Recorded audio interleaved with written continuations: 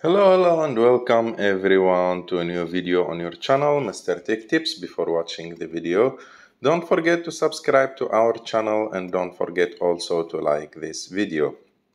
In today's video, I will show you how to recover deleted messages on WhatsApp without any backup.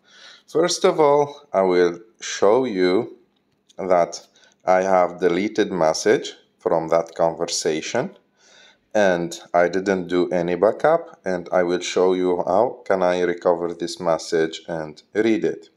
So to recover the message and read it you should go to settings and after that scroll down a little bit until you find an option called notifications and status bar.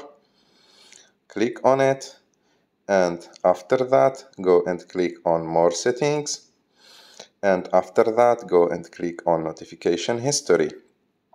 And as you can see this is the message from Ahmed Ben Attia that I didn't read.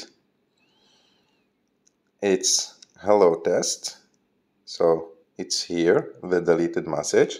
And as you can see I could recover this deleted message without any backup I hope that you like this video. If you like this video, don't forget to subscribe to our channel. Don't forget to like this video and see you in the next one.